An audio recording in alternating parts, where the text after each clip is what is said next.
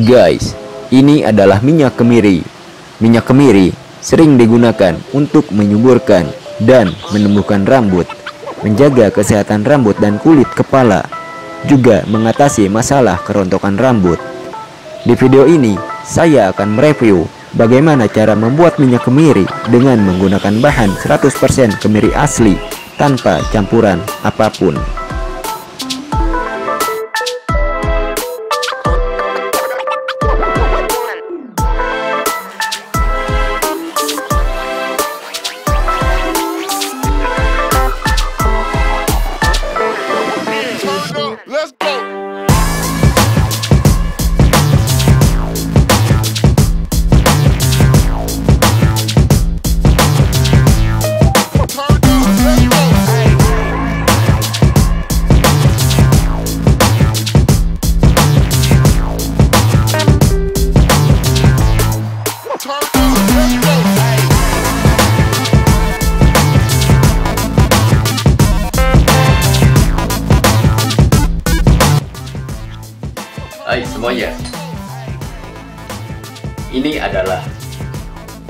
Kemiri.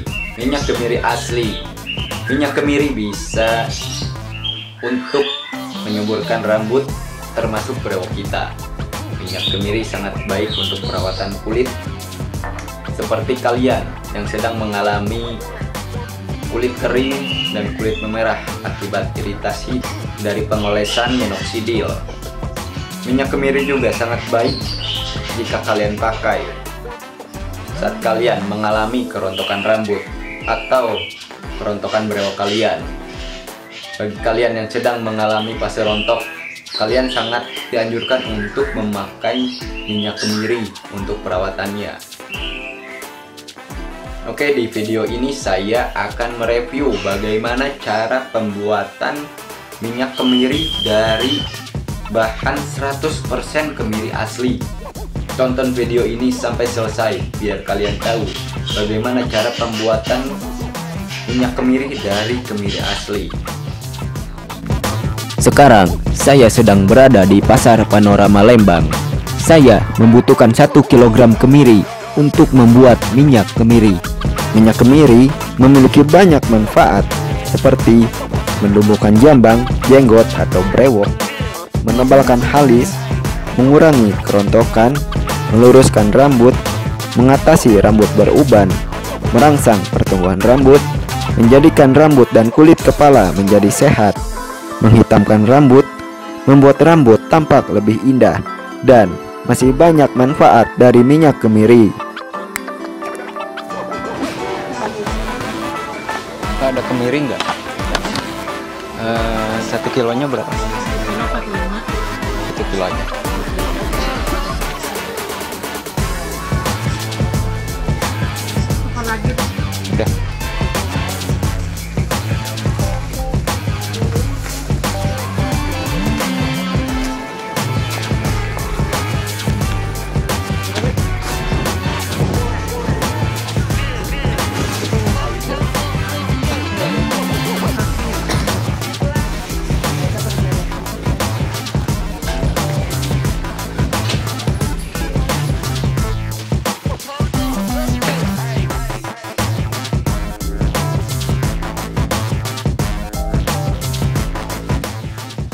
Oke guys, saya sudah mendapatkan 1 kg kemiri dan kemiri ini akan saya olah menjadi minyak kemiri.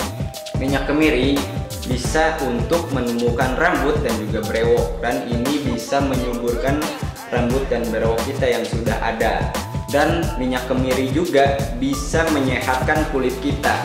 Contohnya kulit kita yang kering akibat pengolesan minoxidil.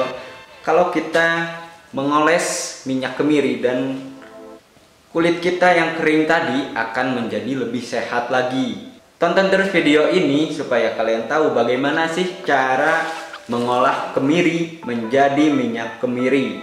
Dan ini sangat penting sekali untuk perawatan dan menumbuhkan berewok kalian.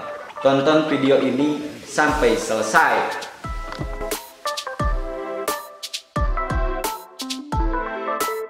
Pertama-tama, kita siapkan kemiri tadi untuk kita blender. Kemudian, masukkan kemiri ke dalam blender guys.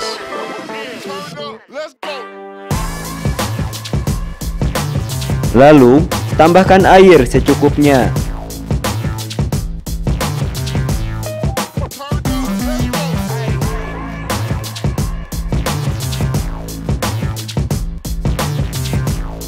Dan blender kemiri sampai halus. Di proses ini, kemiri harus terblender sampai halus. Biar minyak kemiri yang nanti kita dapatkan menjadi lebih banyak dan hasilnya lebih maksimal guys. Nah, jika kemiri sudah halus, tuangkan kemiri ke dalam suatu wadah yang cukup untuk menampung kemiri yang kita blender guys. Kemudian kita aduk sambil mengecek dan memastikan kalau kemiri sudah benar-benar halus. Jika kemiri yang di blender sudah benar-benar halus, lalu kita diamkan kemiri selama 24 jam agar kemiri bisa mengeluarkan minyak secara maksimal guys. Jangan lupa wadah kemirinya ditutup ya biar kemiri tidak kotor dan tidak ada benda asing yang masuk ke dalam wadah kemiri guys. Setelah didiamkan 24 jam, mulailah pemerasan untuk kemiri yang sudah di blender. Siapkan saringan atau kain yang halus untuk menyaring kemiri yang telah di blender guys. Lalu kita saring sampai ampas kemiri benar-benar kering.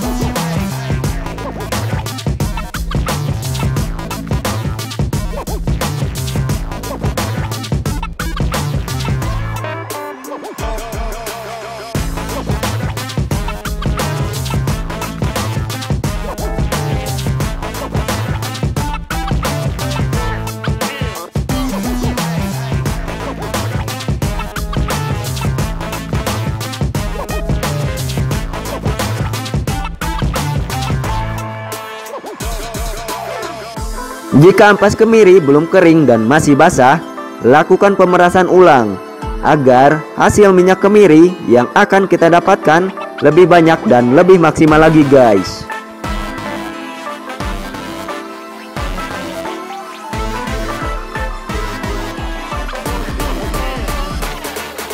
Selanjutnya, proses memasak perasan kemiri guys. Kita masak perasan kemiri sampai airnya hilang dan sampai minyak kemiri muncul ke permukaan. Proses ini kurang lebih memakan waktu satu jam guys.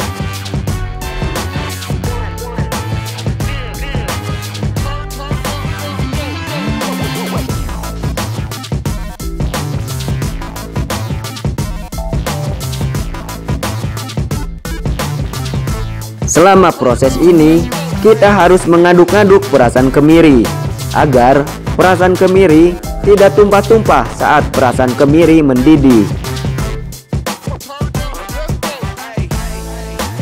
Aduk-aduk terus sampai minyak kemiri muncul ke permukaan.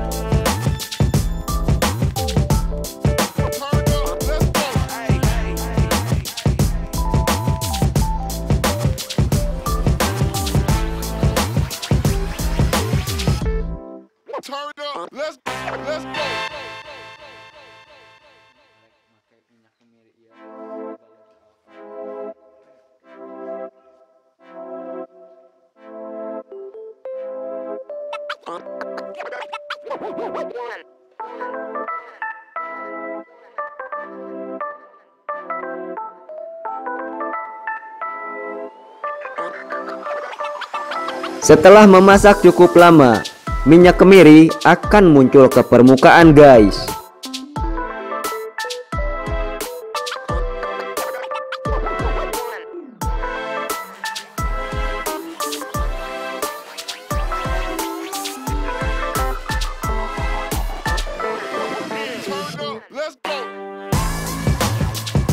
Lalu matikan kompor dan kita tunggu minyak kemiri sampai dingin.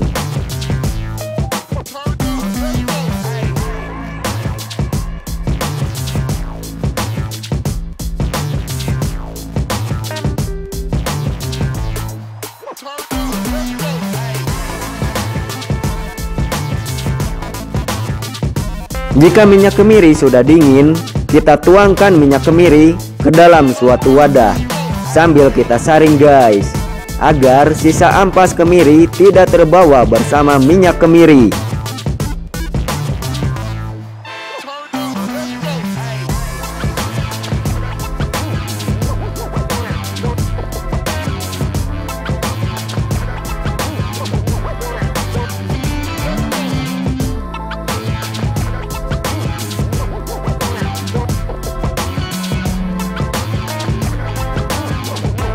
Setelah proses penyaringan minyak kemiri selesai, lalu minyak kita tuangkan ke dalam wadah khusus atau botol guys, sesuai dengan keinginan dan kebutuhan kita masing-masing.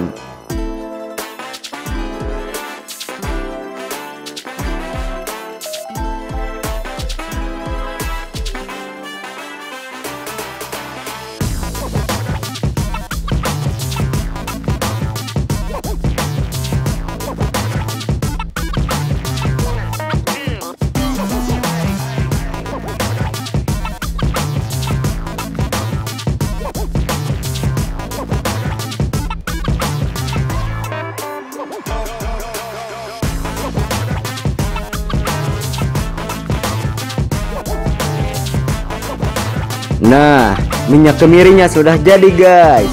Bisa kalian aplikasikan untuk rambut kalian, halis, jambang, kumis, janggut, brewok, atau bulu dan rambut lainnya. Selamat mencoba bagi kalian yang ingin membuat minyak kemiri juga. Semoga berhasil ya. Jangan lupa untuk klik tombol like, tombol subscribe, dan tombol loncengnya juga ya biar tidak ketinggalan informasi dan video menarik lainnya di Orija Sativa Channel.